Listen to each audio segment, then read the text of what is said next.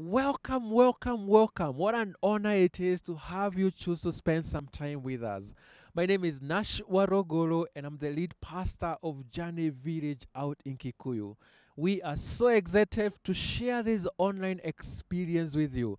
But more than sharing this online experience with you, we want to invite you to also be a part of it by participating. One of the simplest ways for you to participate is by giving your tithes and offering in the number uh, that is going to be shared on the screen. Uh, and then number two, we have an pastor who is eagerly awaiting to join you in the circumstances that you are in. And so, if you are there and you have a prayer need, we would love, love, love to stand with you in prayer. If you are there and it's about celebration for you, we are crazy about celebration. So, would you please share with us your celebration and we'll be joining you? And then finally, we don't just want to share this experience with you, we want to invite you to contribute to the conversation. And so, throughout the worship experience, maybe something in the song captures your heart. Please type it out on the comments. Maybe something within the message will connect with you. Please, again, on the comment section, just type it out. Let us know that we are not just the ones on the screen, but you are on the other side of the screen. And now, for the next 45 or so minutes, we'll have some time of singing, some time of reading scriptures, some time of sharing a message, time, time to pray and to be together. And I can't wait for you to enter into what it looks like. Prepare your hearts as you join us.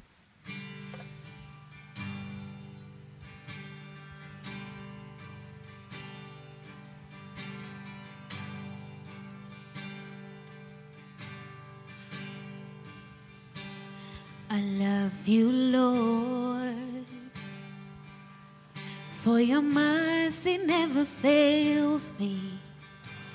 And all my days I've been held in your hands. From the moment that I wake up until I lay my head, oh, I will sing of the goodness of God. And all my life you have been faithful. And all my life you have been so, so good. With every breath that I am able, oh, I will sing of the goodness God. I love your voice, yes. You have led me through the fire in darkest night. You are close like no other. I've known you as a father. I've known you as a friend, and I have seen the goodness of God. And all my life you have been faithful. And all my life you have been so, so good.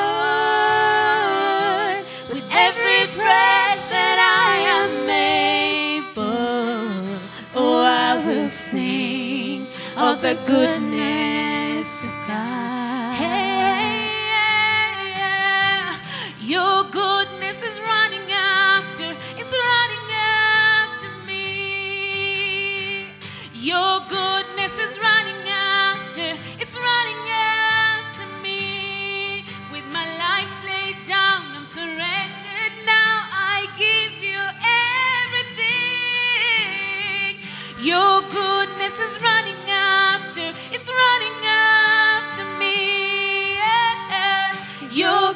goodness is running after, it's running after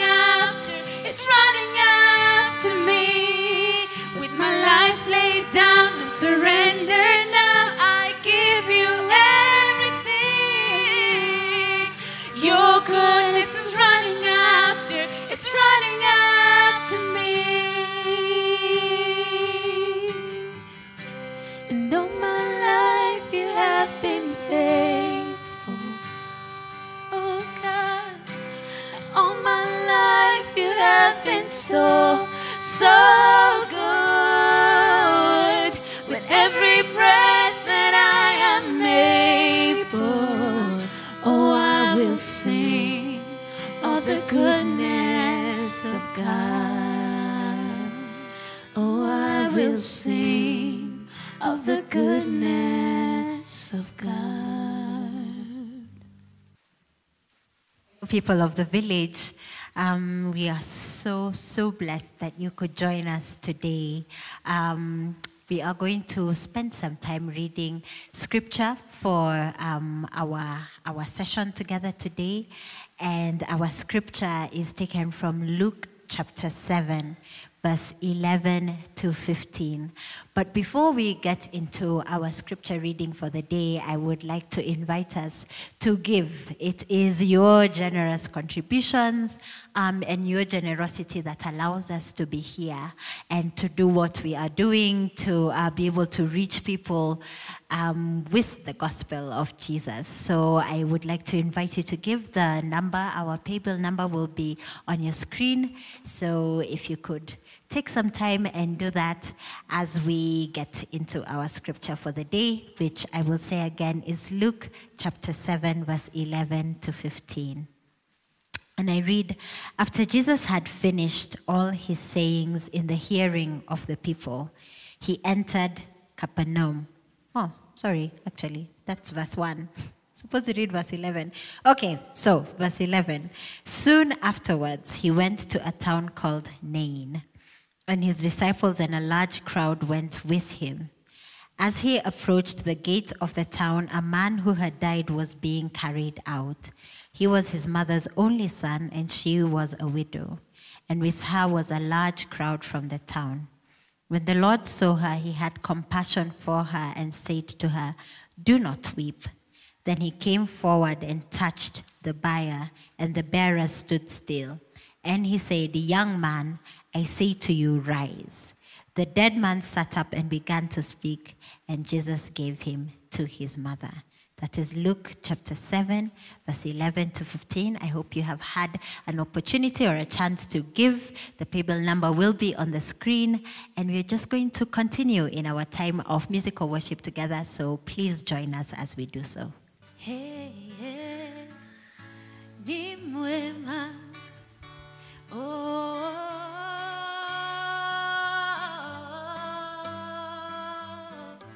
wewe ni mwema,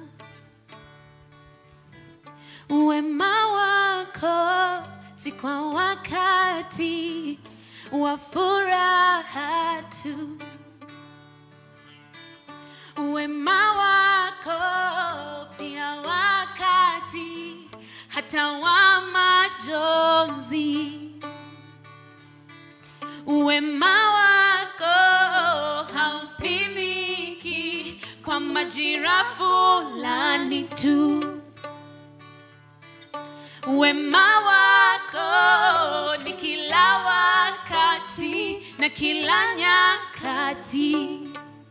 Hey, hey, hata sasa ni mwema.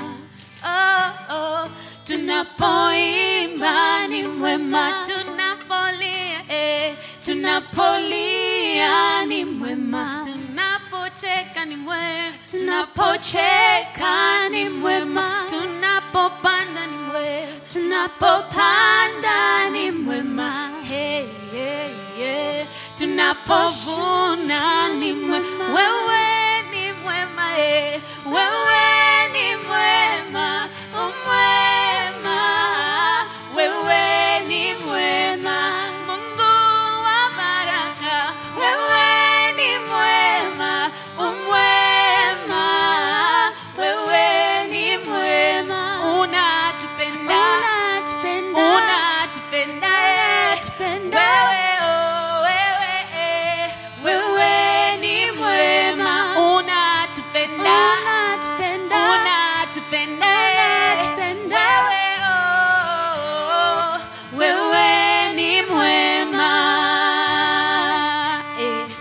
wema wako si kwa wakati wa furaha tu wema wako pia wakati hata wa machozi. Wema wako haupimiki kwa majira fulani tu wema wako ni kila wakati na kila nyakati, hata sasa wewe ni mwema, hata sasa ni mwema. Tunapoimba ni mwema, tunapolia eh, tunapolia ni mwema, tunapocheka oh, tunapocheka ni mwema, tunapopa kamwe tunapopanda ni mwema. Yeah, yeah, yeah. tunapovuna ni mwema. Wewe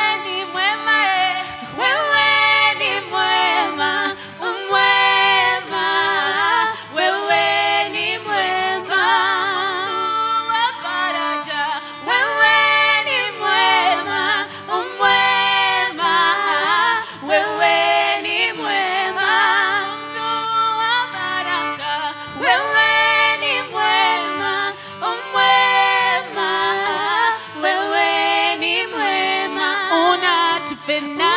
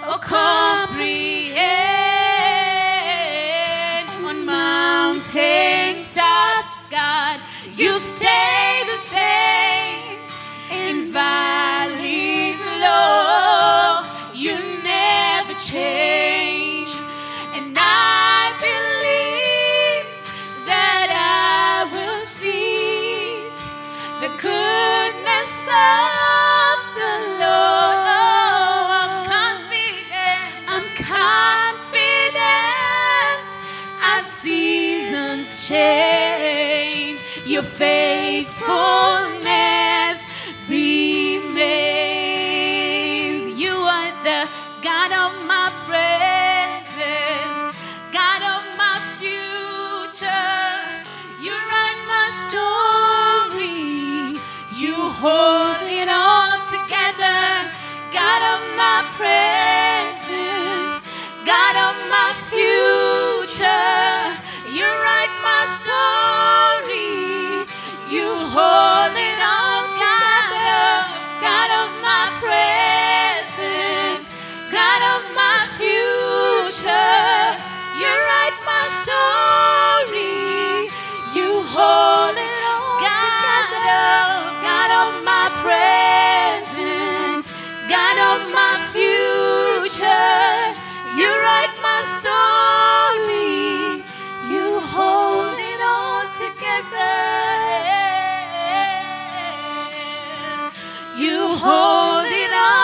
together.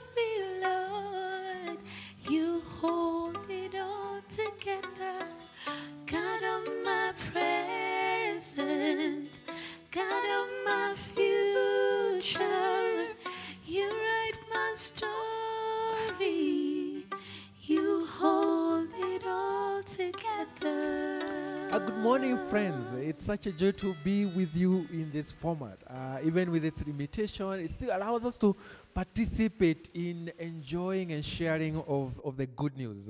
Uh, and speaking of participation, we want to keep reiterating this. Uh, if you get connected, a certain line or something comment touches you, please just go to our comment sections and let us know that you are on the other side of the screen.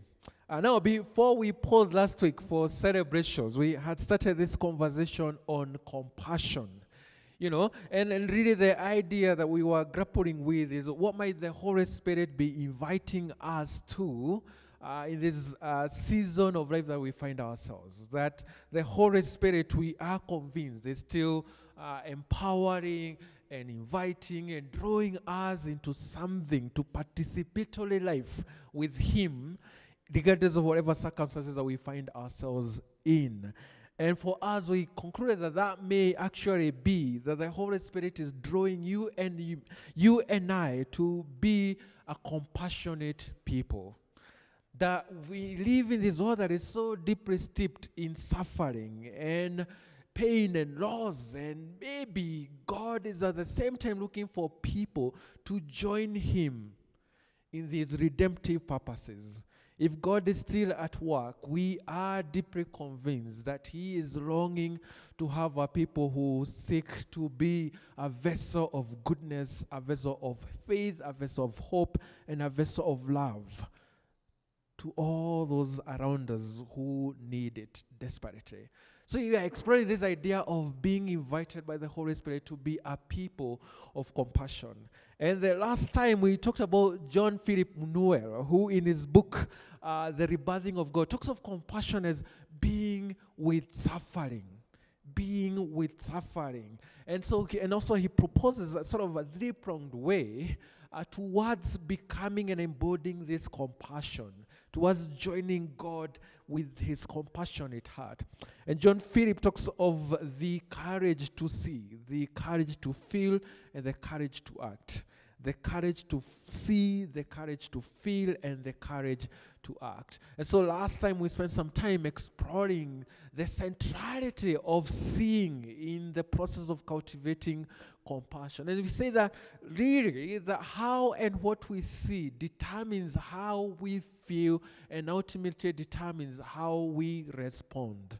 That how we see and what we see determines how we feel and shapes eventually how we respond. And therefore, seeing is central to compassion. But at the same time, as we talk of seeing being central to compassion, I think feelings as well, our capacity to feel. And so today we want to spend some time exploring this idea that we need the courage to feel if we are going to be a people of compassion.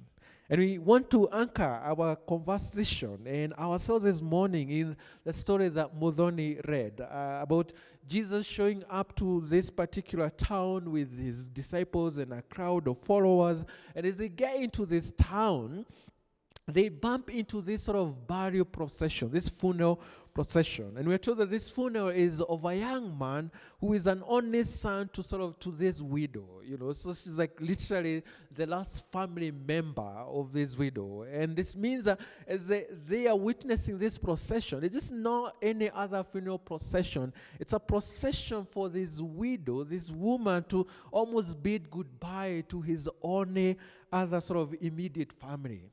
And Luke tells us uh, that Jesus, looking at this, you know, he sees the woman and I guess sees her in her pain and in all her loss. And it says next is that he has compassion for her and he says to her, Do not weep. And we know that he goes on then, according to the story, to raise the child to life and hand him over back to his mother. But I hope you cut that line, which is so easy to miss. Uh, and it's like literally that woman, Jesus sees this woman in her sorrow, in her agony, in her mourning, in her grief, and he has compassion on her. And then moves towards the raising of this child, this son, to life. That he sees, and then he is moved in compassion. And in other uh, translation of the same passage, especially in the Message Bible, Eugene Peterson tells us that when Jesus sees this woman, you know, his heart broke. That when Jesus, when Jesus sees this woman, his heart breaks. You know, when he sees her in the agony, when he sees her in the pain, when he sees her in the grief, when he sees her and sees the potential future of this woman going on through life as an only remaining member of her own family, his heart breaks. And we define compassion back to John Philip as being with suffering. And I think a part of being with suffering is literally having our hearts broken by the suffering. I think part of that is like letting our hearts feel the suffering around us to the point where it breaks us and then moves into action. I, I could argue that there is no compassion without broken hearts. Oh, or another way of framing that is that there is no compassionate action or compassion driven action without our hearts being broken. You know, another space it says, you know, that still talking about Jesus is uh, comp- having compassion on a group of people. This time round, it's these guys who have been with him for three days, right? And in this case, I think this is Matthew telling us. It says that when uh, Jesus wasn't finished with this particular crowd of people, and so he calls the disciples and he says to them, I heart for these people. That is in Matthew 15, verse 32. You know, that I heart for these people. Because for three days, these people have been with me and they have nothing to eat. And I can't send them away without a meal because they'll probably collapse on the road. And you capture that again, again, as Jesus sees these people who have been with him, and he notices, more importantly, that they have been with him without something to eat for three days. He hearts for them. His heart again breaks for the sake of these people. And because his heart breaks, he then gathers his disciples and says, What are we going to do about this? you know, Muthoni, my, my wife, he met, I mean, she met Muthoni. She met uh, with a dear friend who deeply cares for this place that we call Kikuyu. You know, and so this dear friend has done so much to better the, this place uh, by partnering with different uh, government authorities and businesses and all sorts of well wishers to address the myriad of challenges that Kikuyu town and its larger environment faces. Uh, anyway, the thing is, before she has all these amazing stories of all the things she has been able to do for this place, there was a trench. You know, those sort of trenches on the side of the road that are meant to sort of act as, as, as a way of, of, you know, letting the, the, the flood water sort of flow, the rainwater sort of flow past, you know? So for this girl, there was this particular trench in her neighborhood. Uh, and every time it would rain, you know, it, the, the trench, of course, it will flood or whatever, but then the trench will fill up with trash. And when the trench filled up with trash, it meant that the water couldn't flow, something that I think we are experiencing deeply uh, during this rainy season. And so this trench will fill up with trash, you know, whatever plastic bags or whatever it is. And then it will clog up, which means that water would impasse, which means that the entire neighborhood will be flooded. But then, you know, at some point there will be these guys who would come and sort of, you know, maybe from the city council or Kikuyu council, whoever knows, and they would clear up, sort of, they would dig up the trash away from the trench. But instead of carrying the trash away, they'll sort of line it up on the edge of, of sort of the trench, you know?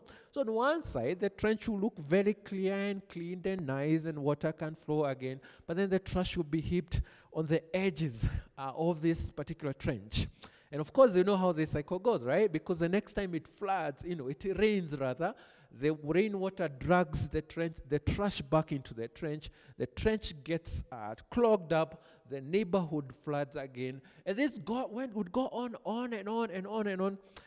And my friend got to a place where it's like her heart again was broken by the inability of these people to fix this seemingly simple problem. Her heart was broken and she was frustrated and she was angry. But notice this because she allowed her heart to be broken because of this one trend that all these people within the neighborhood passed by, she was moved to do something about it. So she decided, you know what, I'm going to track down whoever is responsible for overseeing this particular trench, and I'm going to almost make them do what they're supposed to do. But her action were motivated by her heart that was broken. She had to feel, and not just feel casually, but feel deeply for her to set an appointment at all these sort of different offices. And that is how her heart to sort of redeem uh, this place started. And I think we have so many stories of that. The, the very place when we allow our hearts to be broken open by whatever suffering that we bump into, it becomes a thing that then moves us in towards compassionate action. And so, again, there is no compassionate action without broken hearts. Starting with Jesus, who sees this window and then she is moved by compassion. Her heart is broken with compassion. Starting with Jesus, who looks at these people who have been faithfully following him and notices that they are hungry. And again, his heart breaks, he hearts for them, and so he moves towards compassionate action. Literally, feeling and our capacity to feel can be the thing that defines whether we get the courage to then move with compassionate action. Which, of course, as you can see, bring is, revolves around this uh, term that I don't know how comfortable you are with it. As a man, I am not. This word feelings. And connected to feelings, I guess, is emotions. And I don't know how comfortable you are to feel, and not just feel casually, but to feel deeply, to let our hearts be broken. You know, there is this ancient uh, sort of folk rock music team, you know, and I say ancient because a lot of us, I'm sure, have never heard of them. They're called Simon and Garfunkel. You know, I don't, I'm sure I pronounced that right, and my father-in-law will be correcting me in due time. You know, but anyway, Simon and Garfunkel, this team, they have this fascinating song that is called "I Am a Rock." And although they are talking primarily about romantic feelings and how they are rocks as men, I mean, I think it may have something to do and to say to us in wrestling with our, our, our, our struggle to feel and feel deeply. And here's some of the lyrics of the song. And it says, I am a rock. I am an island. I have built walls, a fortress deep and mighty that none may penetrate. I have no need for friendships. And the reason I don't have need for friendships is because friendship causes pain. And me, it's laughter and loving that I disdain. Again, I am a rock. I am an island. Don't talk to me of love. When I've heard of the word before, it's sleeping in my memory. And this is a clincher for says, I won't disturb the slumber of feelings that have died. I won't disturb the slumber of feelings that have died. If I ever loved, I would never have cried. And I think this gives us a hint about all our struggle with, with feelings, whether it's with suffering or around romantic feelings. It's the same thing, you know, that we have sort of loved, we've sort of let our hearts open and it has been crushed and broken. And so it's no wonder we want to move to build a fortress around it. No wonder we don't want to feel. No wonder we don't want to allow our hearts to be broken. And it is fascinating because I think it's still, we have to be honest about what that means. That we just are not denying our feelings. We just are not denying feeling deeply, having the courage to feel deeply with the suffering around us. As much as it is also true that we have experienced the pain of our hearts being broken. We have tried, we have cared about something, and then corruption has swooped in it, and we have felt so crushed. We have cared about, I guess, maybe some homeless people, and all our efforts have come to naught as those people swam back into the streets. We have cared deeply about that one relative. We have poured our resources into them, and then they've sort of trashed all the efforts in a life that would argue is reckless living. We are a people who struggle with feeling deeply, partially not just because we struggle with feeling, but partially because the moments when we have let our heart be broken, the suffering has not necessarily been elevated, but has been left as more scarred. And so you and I prefer to build a fortress around our hearts. To build a fortress around our hearts. And so I've been wrestling with this idea of what is it that is going to move us to sort of risk opening up our hearts again? What is it that is going to challenge us to risk having our hearts broken? To risk letting our emotions run and roam free around us again? Because it's the only doorway into compassionate action. It's the only doorway into compassionate action. And so I've been grappling with what is it has, that has happened within my life, those few moments when I've sort of risked letting my heart be broken once again. And I landed on this rather, and I'm sure there are many more reasons why we struggle with our feelings. I'm sure there are people who have done a lot better articulation of these kind of problems than I am going to do. So I just want to focus on just one little component that I think is central to our struggle uh, to allow ourselves to feel, feel in a way that may move us into compassion, uh, move us away from numbing our, feed, our feelings, move us away from uh, sort of building a fortress of all our, around our feelings, but literally join Jesus in noticing those around us who long for us to see them through the eyes of compassion and to respond in compassion. And one of the ideas that I landed on is because we sort of came to this moment uh, through our best efforts of loving and failing and risking and having our feelings hurt, I was wondering whether, in all the uncertainty and chaos that engulfs our world, I wondered whether the biggest challenge we face is that the world is so brutal and has been so brutal with our feelings, and we have risked them out that we don't have any sense of safety anymore that we don't have safe places, safe people where we can allow our feelings just come out. And I landed on this idea of, of home, right? You know, I don't know what your experience of home is, but home at its best becomes the place where we we sort of are accepted for who we are more than what we bring or don't bring to the table. Home at its best becomes a place where we are loved unconditionally. It becomes a place where we belong, right? And I think as a result of this acceptance and as a result of this belonging, we experience this sense of rest. And I think from that place of rest, we feel safe enough to risk letting our feelings and emotions run wild.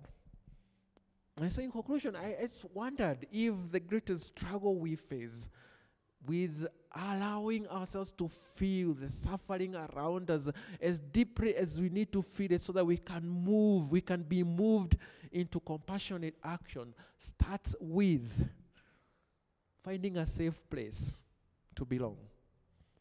I wondered whether our struggle to allow ourselves to feel the pain of those around us, the struggles of those around us, and to allow those struggles to move us into action.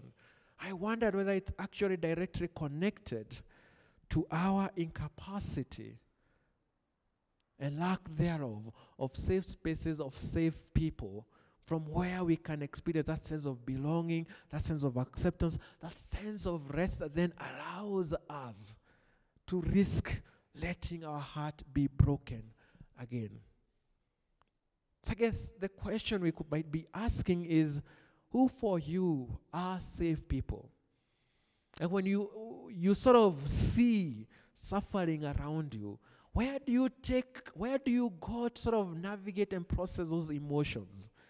You know, for some of us, maybe our families provide that sense of home. For a few of us, I'm sure we it's been so hard that we have had to procure the services of a professional person, a therapist, a counselor. And for some of us, I think we have friends that we go to. But my heart also breaks for those of us for whom we don't have any safe space, any safe people with whom we can show our hearts and risk allowing it to be broken. I think with so many of us are comfortable within our fortresses, within our numbed reality, as compared to risking developing, cultivating the courage we need to let those around us who care deeply about us to also be a space where we can be honest and say, This is the thing that is breaking my heart and breaking my heart terribly. So maybe this morning, the challenge I want to usher you is to ch- ask Would you risk cultivating the courage you need, the strength you need? to find safe people, to find safe spaces? Would you be one of those people who risk again opening up your heart, opening up your home for it to be a safe space, a safe home for someone else who is desperate, for a place where they can feel safe enough to open up their hearts? And even as I invite you both to look for safe spaces and safe people, and for you to be the kind of person who makes their hearts, their home, a home for someone else. I'm just basically inviting you to join the Trinitarian God. Because this is random verse, easy to me. It's in John it's uh, John tells reports uh, Jesus saying this, uh, sort of uh, John uh, 14. I think it's it's in verse that if I can find it. If you, oh, sorry, I'm just like finding this this verse. Uh, because in Jesus, sorry, in John verse 13, I mean, John chapter 14 and verse 23, you know, John records Jesus saying these words from the uh, NIV that says, If anyone who loves me will obey my teaching, my Father will love them, and we will come to them. And this is the creature, and we will come to them and make our home with them. And we will come to them and make our home with them. So I'm inviting you to find a safe space and a find home to where our feelings can find uh, the, the, the necessary safety they need to come out. I'm just simply inviting you to join uh, Jesus and, and God as they promise to make a home with us. But more importantly for you and I, is to come to this place where we realize that maybe the greatest calling in our journey to being compassionate people is to more importantly make room. Make room for God and His Son and the Holy Spirit to move into our lives and make a home with us. Maybe the greatest challenge we face on our journey to being compassionate people is our incapacity to cultivate presence with a capital P to cultivate a place where God the Father, God the Son, and God the Holy Spirit can move and make home with us. And what a low hanging fruit that is. And so, as I invite the worship team back up, and as they sing this song, I just want to challenge you to wrestle with who are your safe people? Where are your safe places? Because as we are inviting you to have the courage to feel, you may have the courage to feel that then sinks you. And that's not what we are advocating for. We are advocating more for you to have the courage to feel from the safety of safe people, from the safety of a home.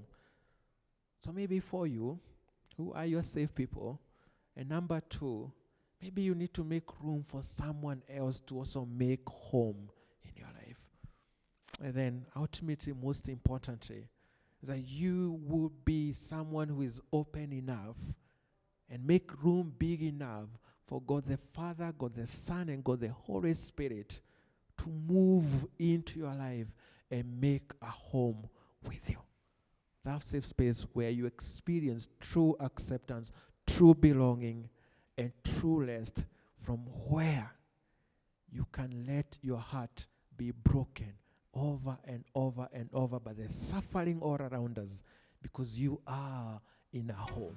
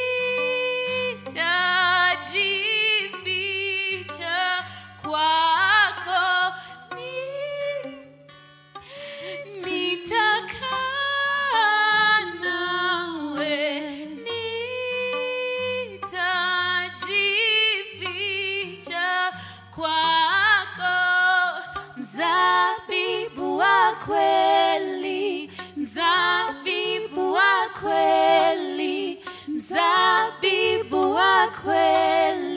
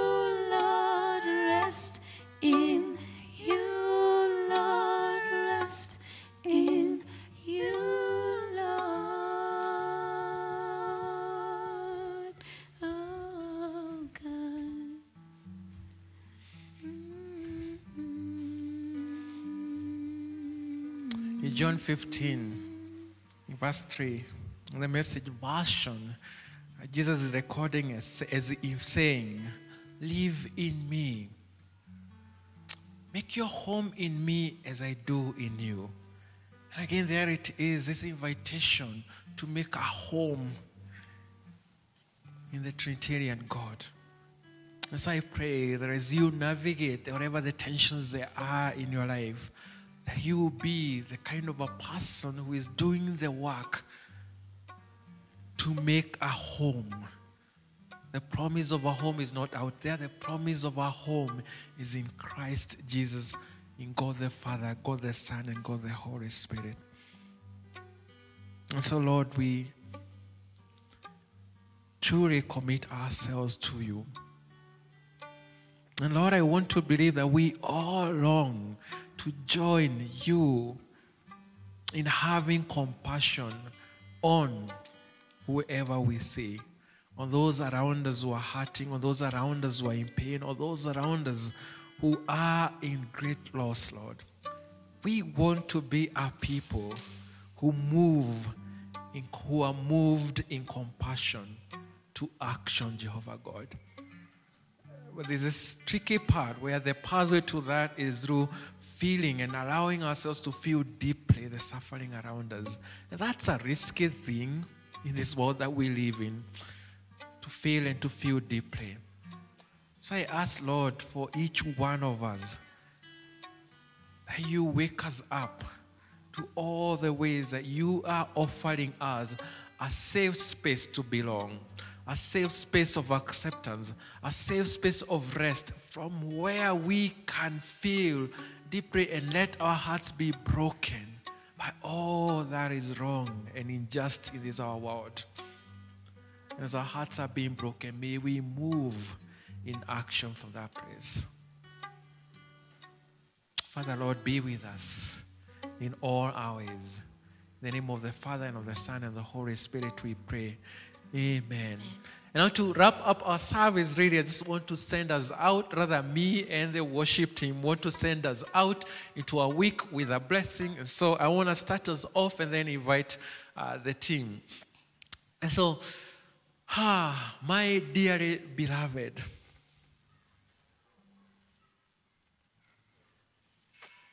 May you come to know that your feelings, your emotions, your heart counts for something.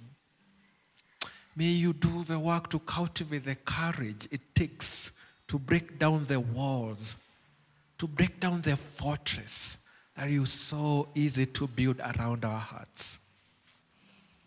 But as you do that, more importantly, may you be blessed with a home, a safe space, a safe people from where you can let your guard down and let your heart be broken once more. May you come to know a God who is longing with everything he has to come and make a home with you, and may you make room for you and God to make that home together. As you go into this coming week, May the favor and blessing of God be upon you. And how they worship Him. May the peace of the Lord Christ go with you wherever He may send you. May He guide you through the wilderness, protect you through the storm. May He bring you home rejoicing at the wonders He has shown you. May He bring you home rejoicing once again into our doors. And may the peace of the Lord Christ go with you wherever